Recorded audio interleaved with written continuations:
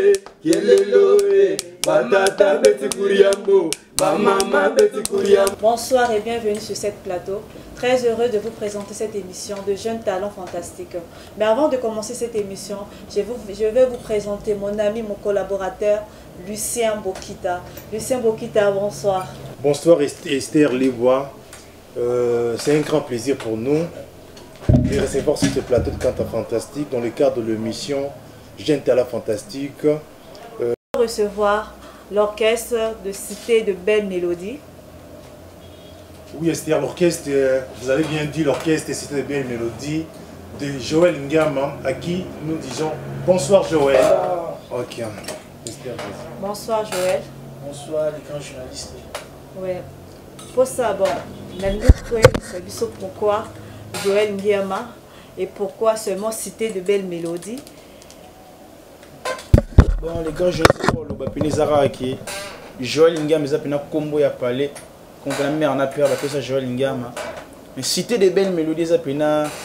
eza orchestre mo pena ki bilanga loyembo eza orchestre mo pena ki oba jeune ba obunda fort ba chanteur makasi baza ya dégâts ko pena baleki ndina bango et on te pesa cité des belles mélodies ba mélodies bien eza pena ba côté joel ngiama moto wana esengo makasi bosala biso awa na, na jeune na mission na biso jeune talente fantastique waka na esengo so tomoni artiste moko boye aye ayoyemba ayemba to asala biso tozalaka mpona baartiste musicien te toza mpona baartiste nyonso enfo sens bacomédien et consort là donc euh, toza ma pressé mpe batelespectateur wana na biso partout dans le monde ake topesi merci topesi ba mbote na bango nyonso bana posa ya koyeba vraiment bit na bino na cité de mélodie eza nini ouais biso mpe na cité de belle mélodie mpona miti oni tona boye tona studio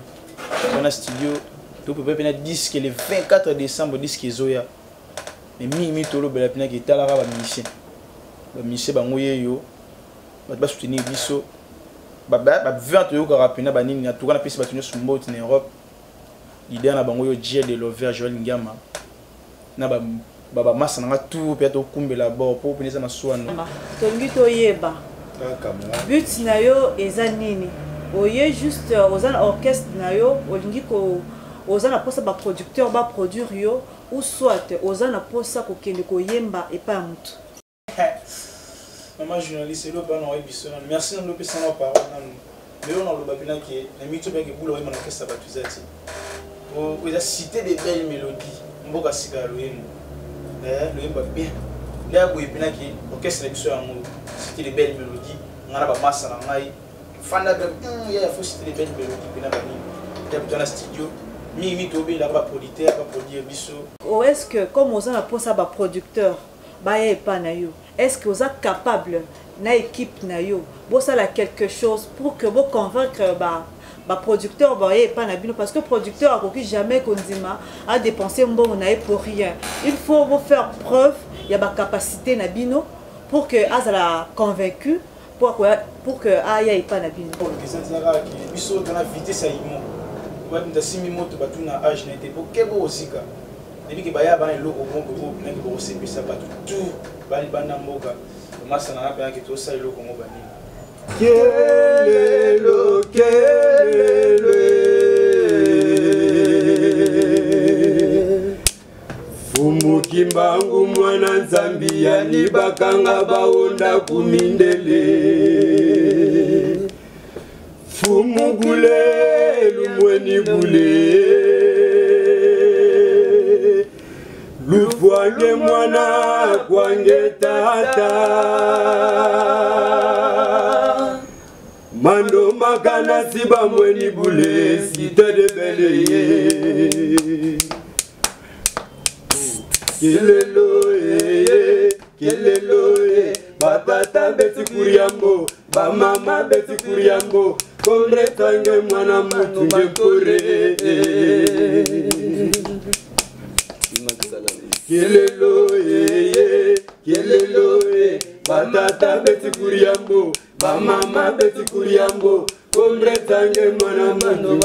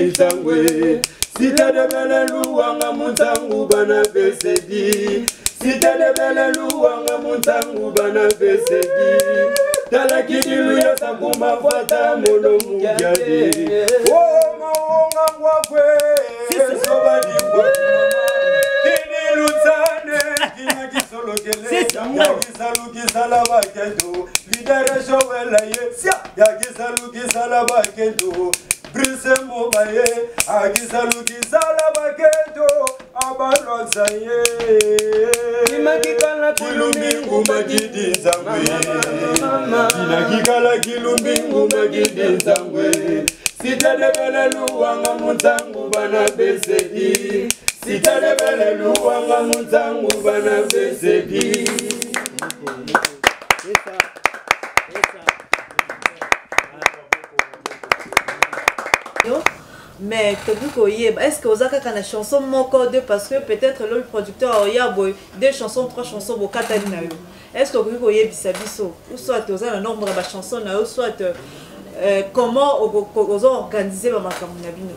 somoni toza pena toza na 150 chanson pena oyo eza na ghetto mais oyo tobimi oyo deja toza na minute ya 50 chanson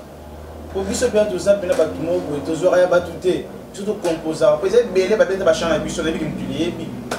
ah, ya solo ebele abeta biso na jeune terrain tona principe moko toki topromouvoir bajeune oyo babima te soki toyebi ke yo bima te bamosusu bayiba deya banzembo nao tobima te mais baoyo babima bana facilité oyiba bachambre po ebikaki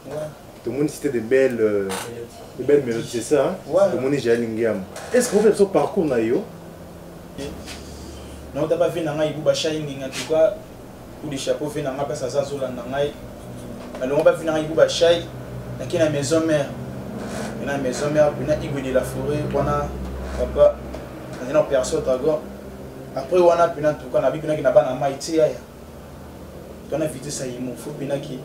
na maman moko ya liboso et mitu avec cité des belles mélodies ya ah. heure okende ozalaki pa yangiama ozalaki quelque part mais oyokani te omonani te baboyi kozwa peut-être parce que oza incapable oza na capacité te ya koyemba entouré lona biso kunaki te nazalaki capable mais mona minute oyo na bavitese ya mamanduye ekomi eka système ka faut kota boko to mbo ngas kuna teke na na travail na nga tse na oza limité te to na mwaka nde tika ke boluka mutu moko ya pa ma etsanga tse nga teke na ba vitesse na nga boite singa ka faut na écarter bango yona mito pele ki cité des belles mélodies yango yo yona fandi pele nyonso azalaka na idole na ye na eloko moko asalaka peut-être olandaka exemple ya mutu moko boye ya peut-être euh, ya mutu moko ayembaka bien te na bino alanda lokolo na ye façon na ye esepelisaka nga nalanda idole na yo eza nani na musique congolaise yama ezaka nga moko joel idole na yo ezaka nga ah, idole na yo ezala yo moko na ndenge parce toyebi ke obotamaki te okuta ya miziki biloko obotami okuta da ya miziki ezalaki obandaki oyemba moko ya nzembo na yo te loyaki bebe baosokola yo mama bino ndoyoka ndoyebale banzembo ya bato sikoyo yo okoli lelo baidole na yo moko to nazalaki na bebe to nazalaki petit mwa dimi bon baoyo wana na nde oyoka bazali baartiste préféré na ngai me bazali baidole na ngai ti bazali baartiste préféré na nde ti oyo esika ya esengo moto nyonso ya kosepela esika ya mawa moto nyonso ya kolelaka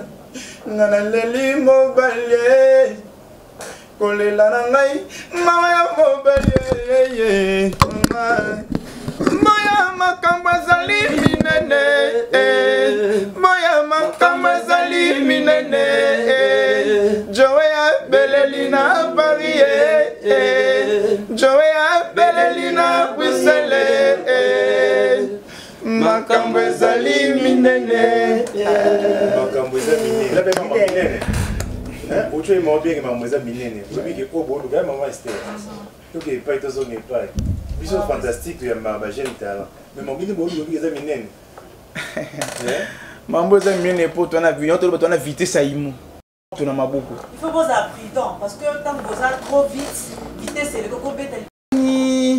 biso mpena toi bon toi presse te mais toi près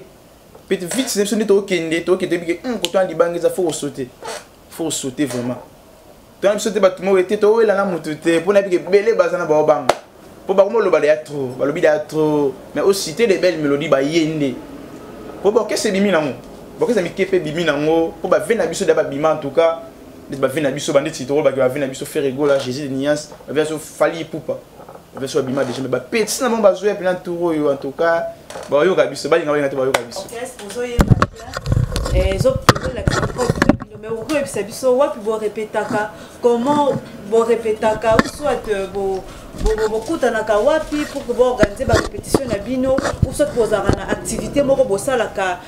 chaque semaine chaque fin du mois mois moko bokenda quelque part kopresente banzembo na bino parce que nazomona bandeko mibali oyo baza na nsima bavoi eh, ezopesa makasi bozobomba ngoka mpo na bino moko ou soit bosandeli lundi lundi vendredi na espace shebaya tout à toi piscine mpena ke baji bombo tozalaka zalaka wana baabalolo barli traduire voici stempo tozalaka wana mpena eh, barigo star nzambe po ye nabengaka ye nzambe chanteur makasi tozalaka wana chaque lundi vendredi toa na shebaya mercredi jeudi toa na, na piris na verakis wana mpena en tout cas bajour to etikala toa na coulisse mpo talaka eloko ya sika mingimingi bato bazoyiba trop bazoyiba mpena bazoya na barep mais omaka tozoyima moto atie telefone okati sa rappel mais nzoka nde asana enregistrement oyiba bachien C'était de belles mélodies. Belle mélodie. Oui. Tobi boy. Botala kaka caméra oyo euh, ingénieur de l'époque aza simbi yango na elengi ba nyonso makasi parce que tokende mpe mbango ebele ebele soki ye te me tozali tozalaka te. Puissance mondiale. Euh, donc euh, toki tolobaka boye. otala kaka camera ya ingénieur Bellevue opesa message opesa message na bato oyo bakolanda image oyo mposa na bino eza nini ezala bref oyebisa bango parce que nayebi na otangi internet émission moko ezalaka makasi yango nalingi ozala ma bref euh, oloba pesa message na yo mpe opesa ntango na bandeko nyonso oyo bazali na nsima na yo mokili mpe yeba bango eza ke cité de belle mélodie yango oyo toa besoin production toa na studio tobule da le 24 décembre déjà faut disque na bino ebima ya na 4 chanson na générique moko en tout cas bato tolaka basoutien bave wana toyokaka yokaka trop en tout cas rizanaka niki orchestre na bino yango cité de belle mélodie avec Dieu de l'over Joël Ndiama vitesse à Imo en tout cas bosse tenir biso kaka au tout on a contacté biso à 089 71 76 002 na Facebook à kotaka na Joël Mokapindi alors Joël biso en tout cas tout le monde a soutien tala ba petits na bino biso yeyo biso peut na mpe pasika c'était les belles mélodies yango wana mais oyebi biso bamusicien na yo ba accompagnateurs na yo mais toyebi ba kombo na bango te tokoki okoki ko présenter biso moko sima moninga toyeba soki aza nani kombo na ye et puis annoncer message ndenge ade mbote na libota na ye ngai sikoyo mpena disciplinaire makasi jibombo po eswa ba eji ya ba fona ba bombo ezala en tout cas toza na directeur na biso wazis tempo bata makasi toza na chef d'orchestre na biso abalolo ah, barli traduire ah toza na nzambe chanteur makasi yeyo toza na master na fakichu lisusu secrétaire makasi en tout cas pena yeyo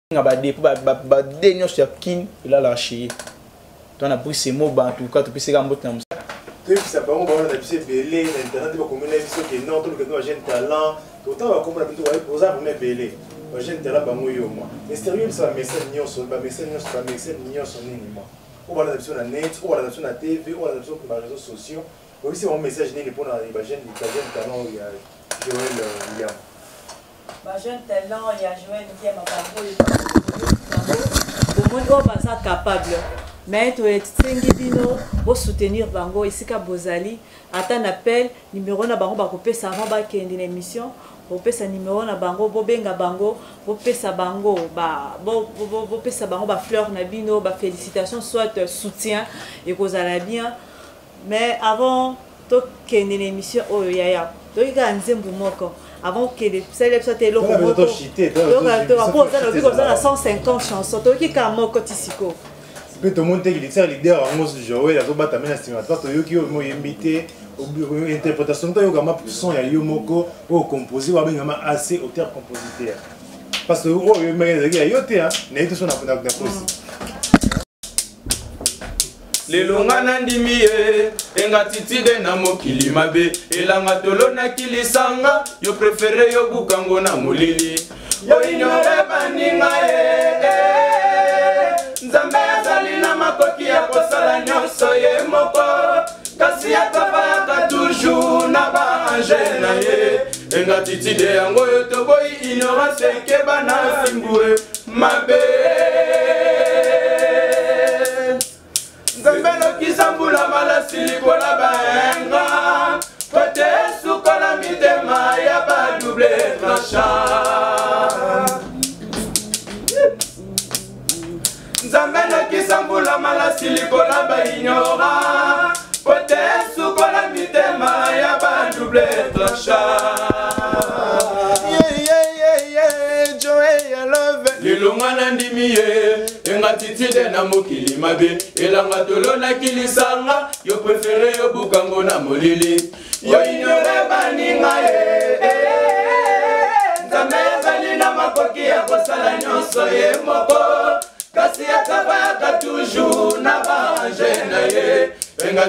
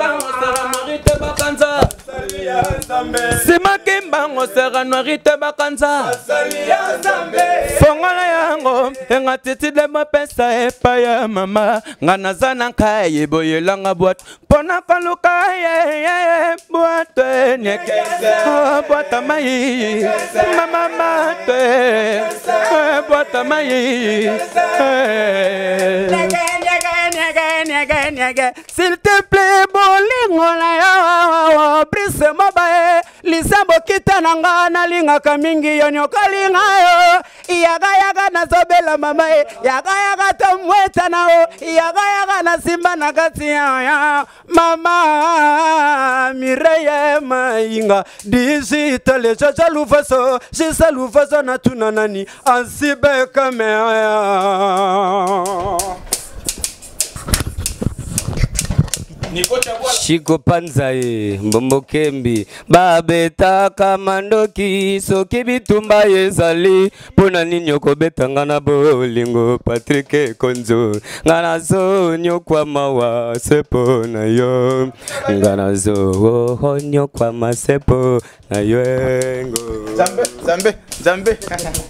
nakomi obango tambolanga moko na nzela baninga bakoma kotunanga wapi mwasi yo bala na mbongo nazangi liloba ya koloba soni elatinga na nzoto te bakoyiba nabombi iyo mokolo baki na ngai yokozala wanga lelo deside na yo kende ngai nalelaka estere diwa na ngai ye lise bokite papa puissance mondial alobi elingaki alingaka nga enga nakomi na nga kolelaka ye yeah. valeri makengo nga nalinga lidere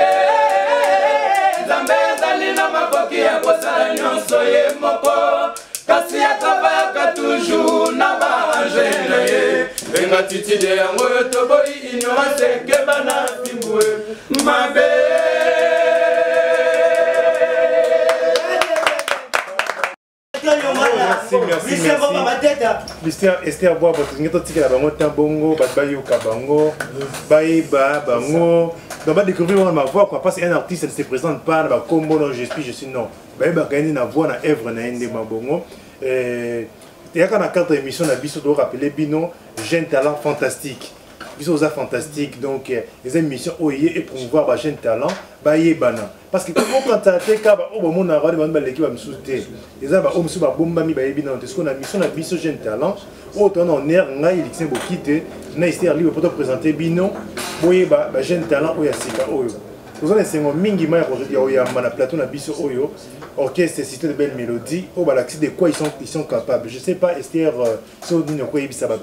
balandi nyonso oyo baolanda biso na internet ye pour le moment ya koloba ebele eza te bino moko boyoki mpe bomoni bango baza awawa pesa bango temps mokie bapesa bino juste numero na bango oyo bokoki kolancer appel même félicitation même courage na kote na bino ekosala biso plaisir joel ngiama po tocontacte bino mpo toyeba tozwa bacoordonne euh, ba na bino est ce que boza na adresse mail soit euh, numero moko ya bureau tokoki kozwa bino direct azwa biso en tout cas numero na biso yango wana kaka ezoleka na ekran na bino ibu contacte biso na numero wana ya koloba bina trop eza te mingi mingi ana obelaka puissance mondiale levi bokite oyo mpena osala mpendaki mpo joe love joel ngiama baswagi ya boye puissance mondiale en tout cas merci mpena papa na oyo ozosala mpo na biso ba jeune talent mpo na cité de belle mélodie talaka image ya boye en tout cas ya kolobela to eza te talaka Folklore mission émission oyo na Blevi Izambadi tokopesa 2 minutes na ba musiciens na biso ba lancer ba pesa message na bango mbote na famille na bango. Sarara na masa na nga paul na états-unis wana auti kobalaka totse don re ya yo yango olelaki trop ji bombo amonana te babi mare na nga nene la plus belle plus que la belgique kuna na belgique wana nayebi kokanga ve na nga ndre sumbu mokusa talo na rotterdam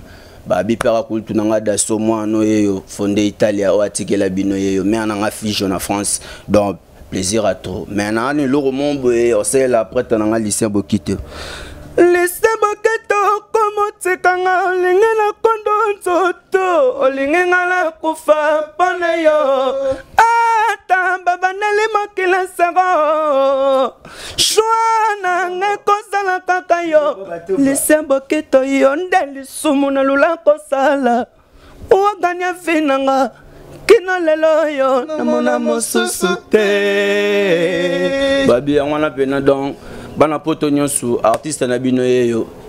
bana belgique bana états-unis niansi yo rigostar bambote kaka mingi me eza bafana babote mama na jefa na david ye moko the king kimbangu soki oza bambote ebele monaki bavalise otindela yanga nazoki bavalise esali nga plaisir makasi donc star yeyo omonaka na disque bientôt la bosepela donc en bref mango ezaka bongo bino yeyo bwisa ekonde fait de la montagne en tout cas je sali baoncle na nga napesi bino mbote na angleterre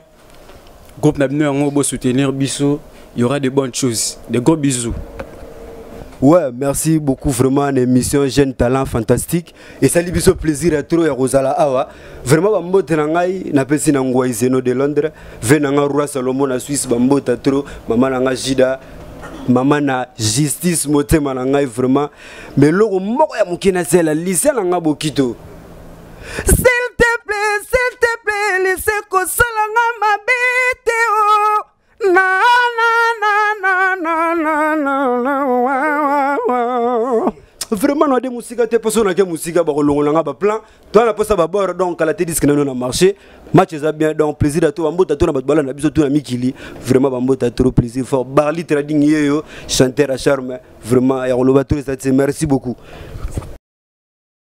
oyo mpena kitoko oyo mpena peuple mpena ezelaka mingimingi ya poto na asie na europe na océanie balandaka mpena mingimingi wana napesi mbotela nga na famille ngemba famille ngemba tout priska ngemba kasa ngemba plamedi ngemba azubile papa nga lukombo gustave frazi masamba kilimanika nyama depuis soudaf mon beau frère la deuxième près du cœur banini nabosani te dada antonio mbala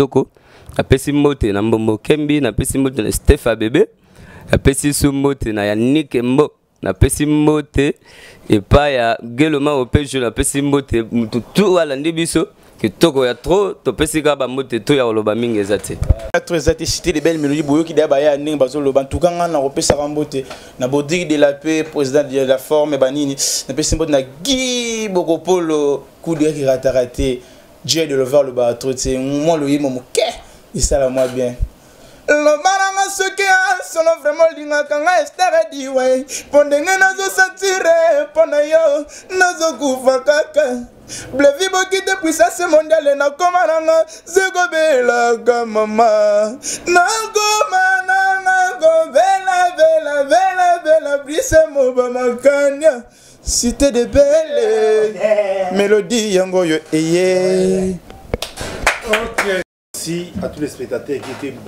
branchés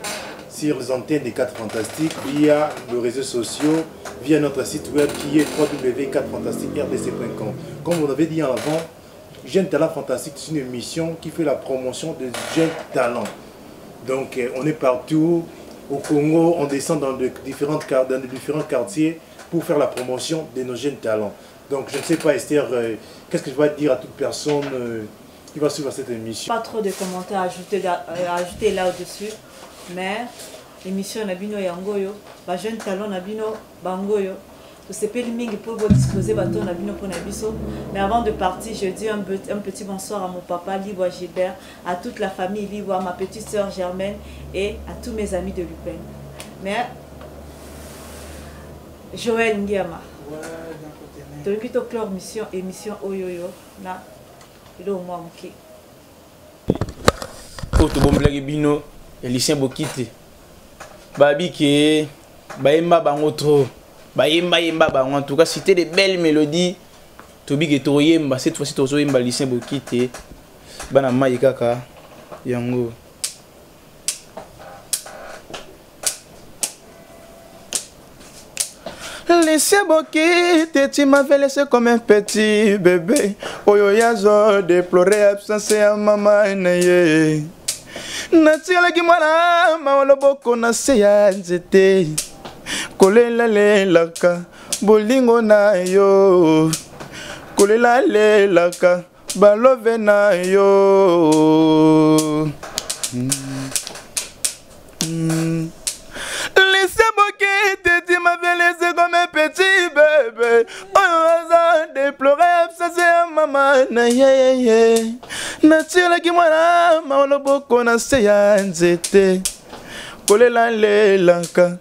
bolingo na yo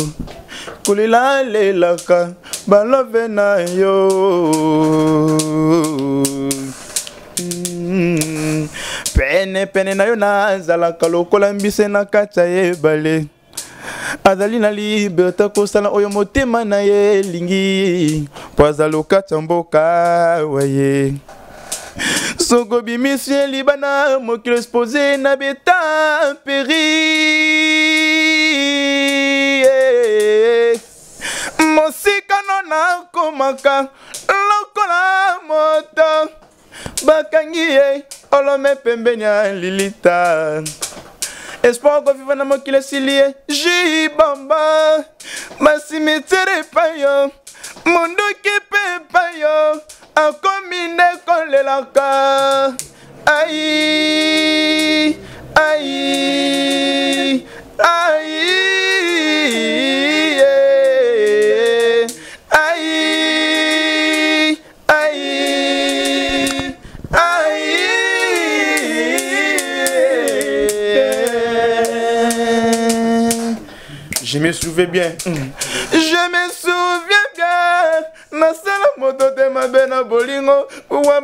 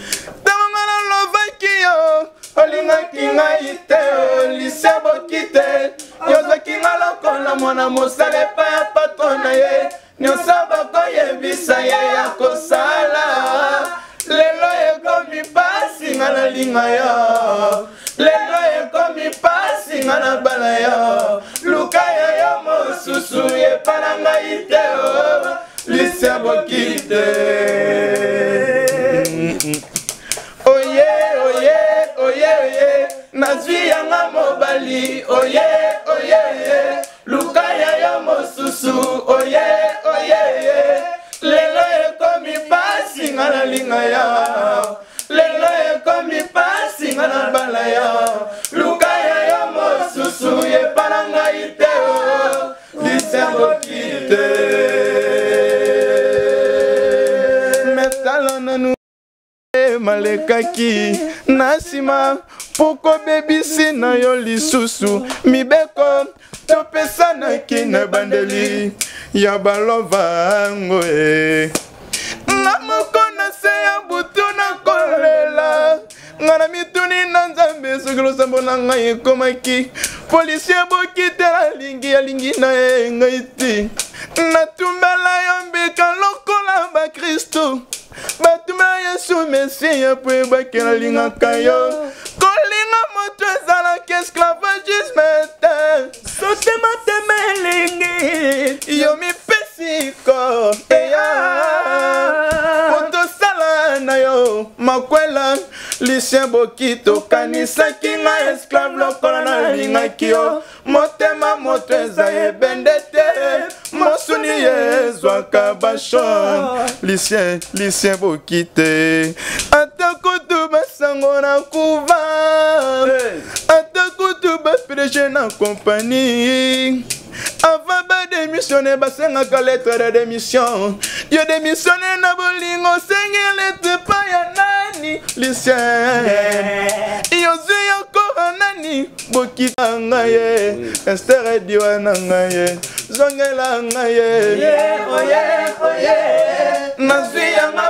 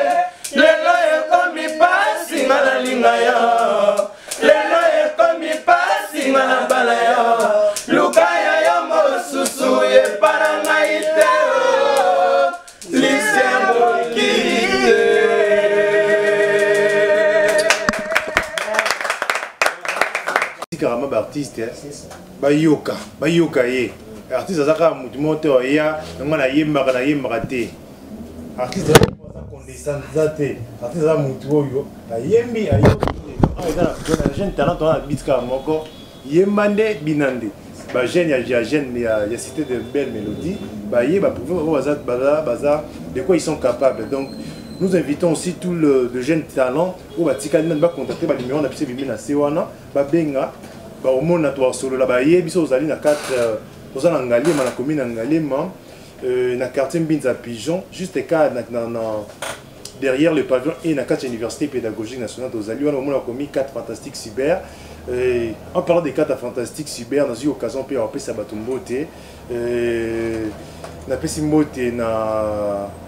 oyo babengaka bakwa kalongi euh, le professeur albert chibango wa mulumba donc na nsima na ye nde omoni nyonso esalami boye donc topesi ye mbote na ye topesi mpe na mwasi na ye mama angèle chibangu topesi na ba 4 fantastique nyonso oyo batikali donc euh, toza wana mpona kosala mosala euh, mpe napesi mbote na josé oleka l'honorable tobengaka honorable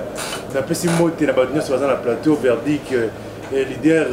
oyo aza na biso awa topesi mbote na ndi mutombo oyo tobengaka de mouton donc mbote na ye topesi mbote mpe lisusu na bandeko na biso basotenaka biso mpo baza makasi mpo na communication entre esa topesa mireille kavira mbote topesi euh, parti garcia setalaka ye bato bayebi bamedia makasi donc topesi bango mbote euh, topesi mpe mbote na baclient nyonso bavisitaka cyber 4 fantastique donc euh, oyo ezali euh, ezali masolo na bino chaîne talent donc eza kaka content tosala na bino oma tobosani topesi mpe mosunga leticia mbote mpe na babosana te bimaki toza na ye donc nakoloba te topesi mbote makasi na ester oyo aza pembeni na biso mpo atiki otika bamone tosala jeune talent